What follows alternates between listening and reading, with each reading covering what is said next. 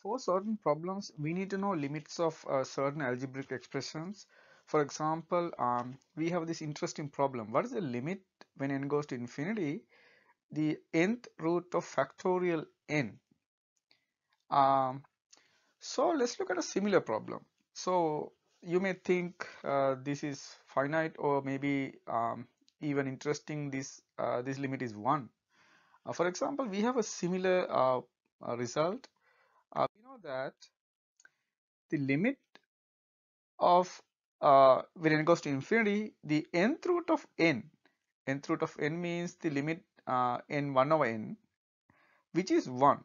So this is a simple um, L'Hopital's rule uh, problem. Now, what about if we change this problem to this? So what do you think about this? Like, you know, so instead of n, we have factorial n. So we have we try to do the we try to find the limit when n goes to infinity are the nth root of factorial n nth root of factorial n. Uh, so let's try to make a uh, so how about this argument? So we're gonna do um, like this.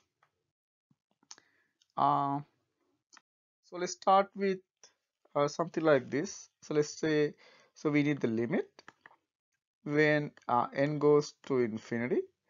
So this is the uh, nth root of factorial n. So it is uh, so factorial n the nth root.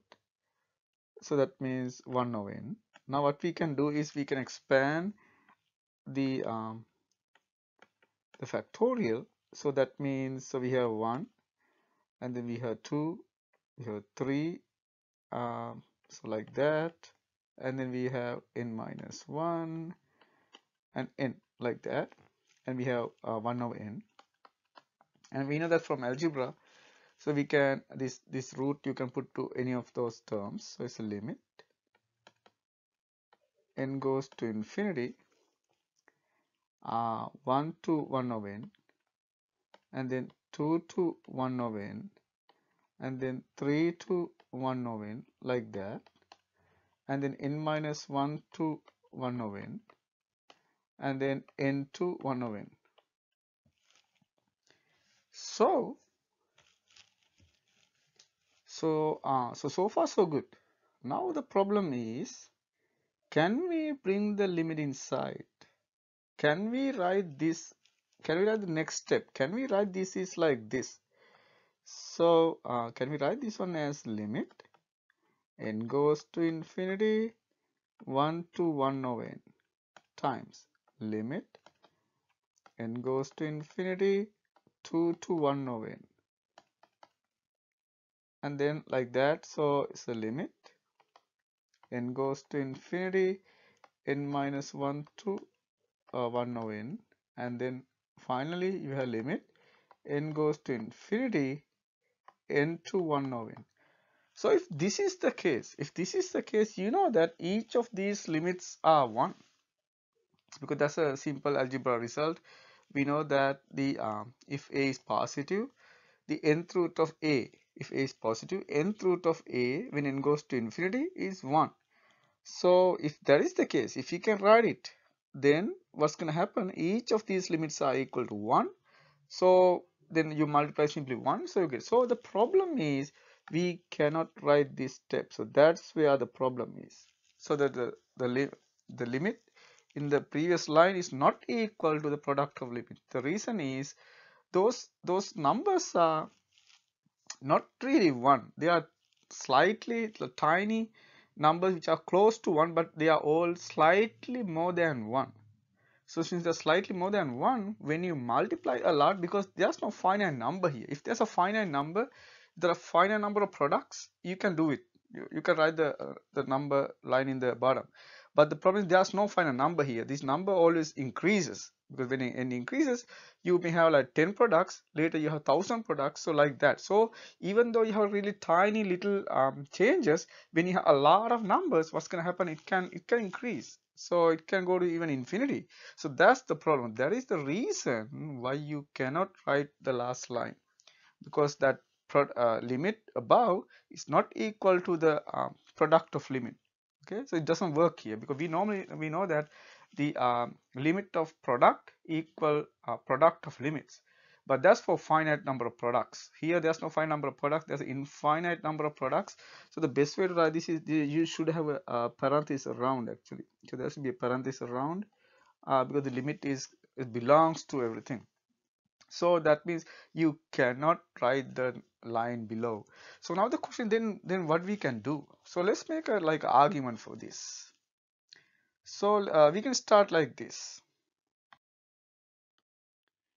So uh, we have the limit. Uh, n goes to infinity. Factorial n the nth root so this uh, you can write it like this just from basic algebra like a notational thing. So we can write factorial n uh, 1 over n that we know. That's just basic algebra. Now we can use a result. We know that if x is positive we can write x is e ln x. You can write it like that. When x is positive. When x positive we can do that. So we can use this result here. So that means this is the case. We can write this one as uh, we can say um, limit n goes to infinity. So we can write e then a natural log uh, this factorial n to the 1 over n. Now what we can do is we can pull this 1 over n out. Uh, so then the next line we can write this as limit. N goes to infinity. Uh, e 1 over n and then ln a factorial okay like that. So next uh, obvious step would be we can expand the factorial uh, as uh, a limit uh, as a sum because we know that this is, this is, a natural log. So we can write this as a um, sum and also we can do two things here. Uh, we can also bring the limit inside because we know the exponential function is continuous. Uh, so we can uh, bring the limit inside and also uh, so we can do two things. Since uh, so we know that the uh, y equal ex is continuous. So that's a nice continuous function. So we can bring the limit inside. So let's write limit. No we can bring inside. So it is exponential the limit n goes to infinity. Uh, so we have a 1 over n ln factorial n. So the next step is we're gonna expand this? So we can write this product because there's a product here we can write this as a sum. So that means in the next step we can write this e limit n goes to infinity 1 over n. So we can write this as a sum so that means uh, this is factorial. So that means uh, we can write this one as uh, ln.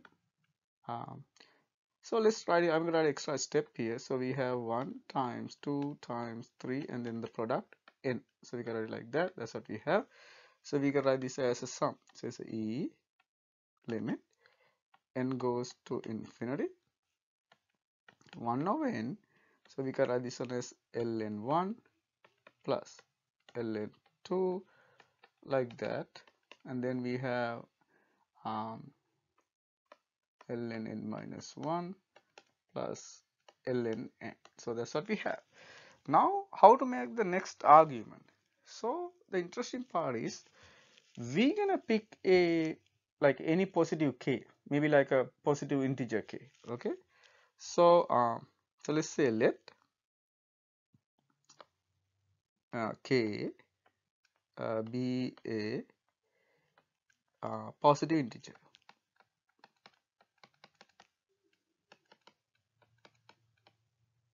Okay. let k be a positive integer. So now if k is a positive integer since n goes to infinity we can say that this k is among those any of those numbers. Okay? This k is among those numbers. So what we can do i'm going to rewrite this one again because since k is a positive integer we can assume that without loss of generality we can assume that k is among those numbers because n goes to infinity. Okay so we're going to make that argument. Now so we have the limit.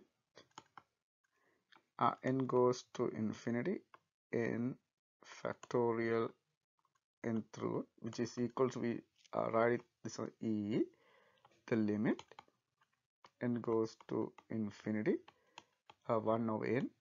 So let's exaggerate. So that means we have ln1 plus ln2 so it can be a number in between. So i'm going to say k here. So ln k that's the number we say plus like that uh, ln n.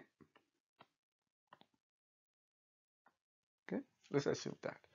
So now what we can do is the question is how many numbers we have here? So how many numbers uh, we have here? So you can see that if this is the k1 from k to n you can have we can see uh, we have n minus k plus 1 terms. So there are that many terms.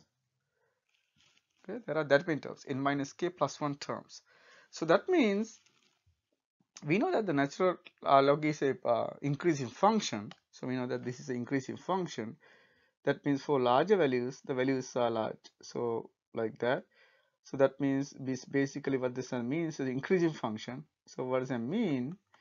If you pick x and y uh, if y is bigger than x then the corresponding function values are also large. So that means we have ln y and ln x so you can see that if increasing means uh, if uh, x less than y this means ln x is less than ln y. So we have that fact. So that means all the values after k are bigger than ln k okay?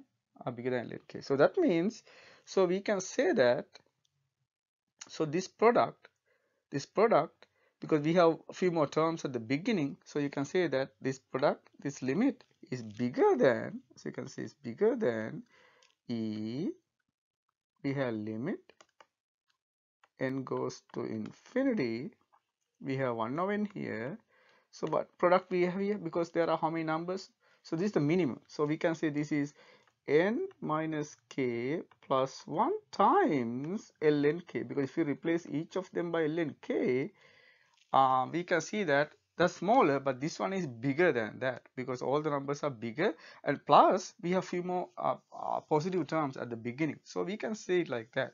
Now what's going to happen here? Ln k is a constant. So you can see that um, uh, we can write it like this or we can make it uh, much more clear like that. So we can say this is e uh, and then I can take ln k is a constant. So let's uh, write it in front and then we have limit. N goes to infinity. N minus k plus 1 over n. So you can see that um, k is a constant. It's a fixed number. Any positive integer. So it's a fixed number but n goes to infinity. So that means this limit is simply 1 because k is a fixed number so this limit is equals to 1 so that means uh, what you get is you can see that this is equals to e ln k.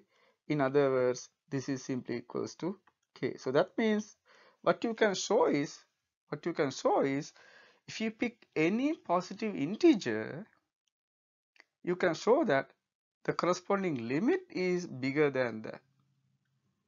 So what does that mean?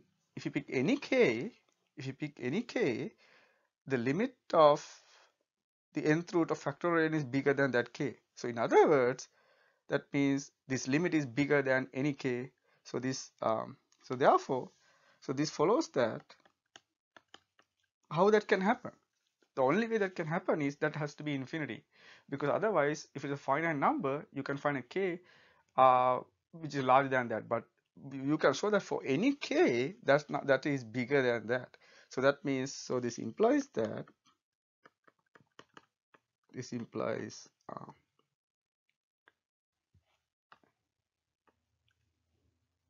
so you can see that this implies that this implies that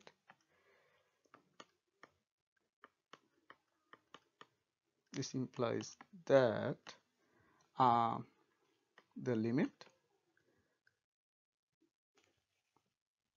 uh, n goes to infinity n factorial n through t simply infinity because it cannot be finite. If it's a finite number you can definitely find some k which is bigger than that but that doesn't happen because for any k you can see you can show that.